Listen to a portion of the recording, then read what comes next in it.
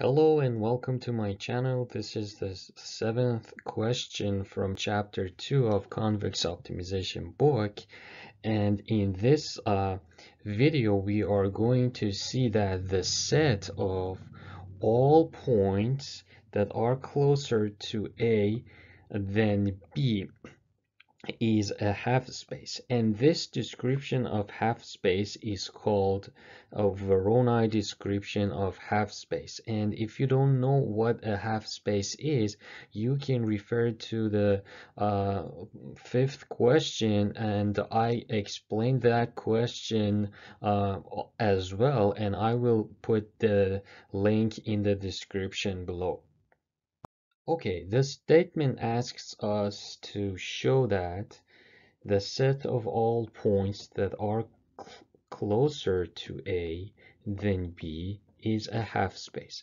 Let me just characterize what we uh, just went over as a, a set. So set of all points and the, uh, all these points are points in Rn uh, such that the distance between uh, points uh, between uh, all points uh, and A and the distance between all points and B. So we have we want points that are closer to A.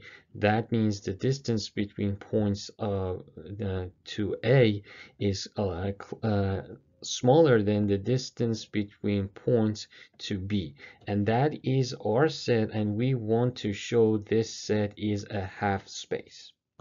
Well, if you don't know what a half space is or you want a very uh, thorough explanation of half space, you can refer to exercise 5 of chapter 2 from convex optimization book uh, and uh, I will put the, uh, the link in the description be below.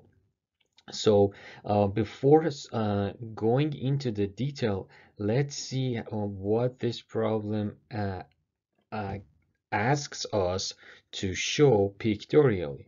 So from that uh, exercise, we remember that characterization of a half space, which is something like this in n-dimensional space, uh, is done by its normal vector. So there is a normal vector A that is perpendicular to that half space H so, uh, uh, and there would be an intersection point by having this vector A and uh, that intersection point, uh, we can characterize our half space. Now we have two different points. Uh, so how can we characterize points that are closer to A than B? So let me just connect these two points, uh, A, which is a point in Rn, and B, which is a point um, in Rn as well. So I'm gonna uh, uh, connect these two. So if I draw the perpendicular line that cuts this line in half, I can say that uh, points that are on this side are points that are closer to A. And points that are on the right hand side are points that are um, closer to B. But if you just uh, look at what happened here, you can see I can have a normal vector in this direction and uh, that direction is b minus a uh, therefore, I can have a normal vector along the direction of b minus a uh, and characterize all those points. So now we are done. What we need to show is to show this rigorously.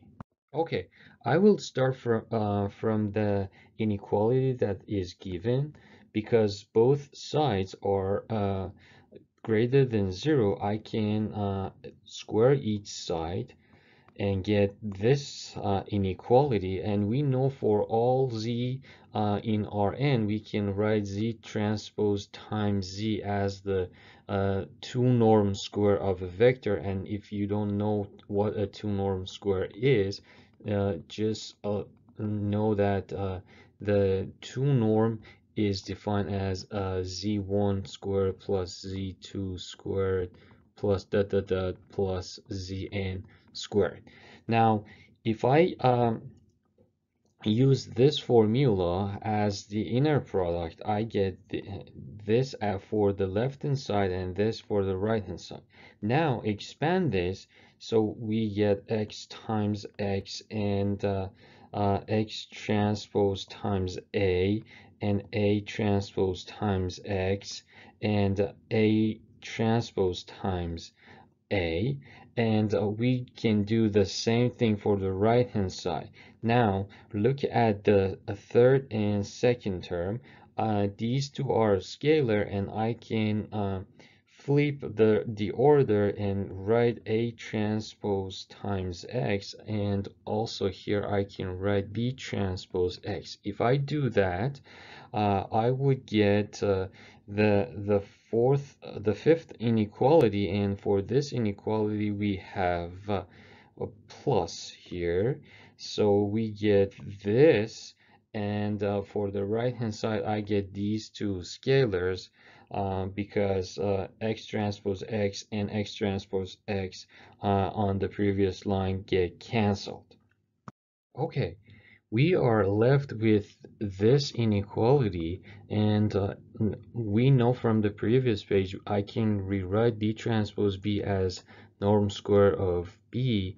Uh, actually this is 2 norm square of B and we have 2 norm square of A and on the left hand side I can factor out X and write it here. So I would left with 2B transpose and minus uh, uh, 2A transpose. And we know that we can rewrite that uh, B transpose minus A as B minus A transpose here. Uh, and now look at what happens. Uh, so we have C transpose times X, where C is 2 times B minus A, and now I have a scalar on the right hand side. And this is exactly the definition of a closed half space because we have all the points satisfying this inequality, and I have equality for uh, this uh, less, uh, less than or equal sign. So that concludes the problem problem and we uh, are done with the proof. Thank you for watching my videos and I hope you've enjoyed this video. You can support me by liking my videos and giving them a thumbs up and subscribe to my channel. Also, it is a very huge uh, help to share my videos with anyone who you think would find them useful. Have a good day.